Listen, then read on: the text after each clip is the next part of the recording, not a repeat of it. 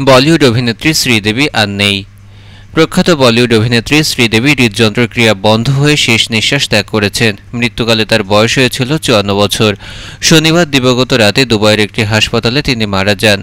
উনিশশো সাতষট্টি সালে শিশুশিল্পী হিসেবে চলচ্চিত্রে যাত্রা শুরু হয় শ্রীদেবীর। এরপর তিনি হিন্দি চলচ্চিত্র ছাড়াও তামিল, তেলেগু, মালয়ালম এবং বেশ কিছু সংখ্যক কন্নড় চলচ্চিত্রে কাজ করেছেন।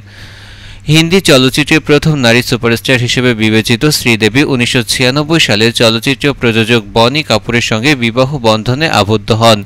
তাদের দুটি কন্যা সন্তান রয়েছে।